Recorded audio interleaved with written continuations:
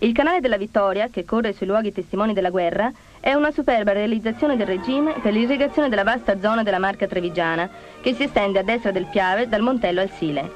Il canale della Vittoria deriva dal Piave a Nervese della Battaglia 25 metri cubi d'acqua al secondo e dopo un breve percorso si suddivide mediante bacini di partizione nei canali della Piavesella, di Priola e di Ponente, che a loro volta alimentano vari canali secondari che hanno uno sviluppo di 1500 chilometri. Vari impianti idroelettrici sono sorti lungo i canali e l'energia viene impiegata parte per sollevamento dell'acqua ad uso irriguo, parte per servizi elettrici della provincia. Il costo totale delle opere che stanno modificando la produzione agricola di 25.350 ettari, trasformandoli da asciutti ad irrigui, ammonta a 85 milioni di lire.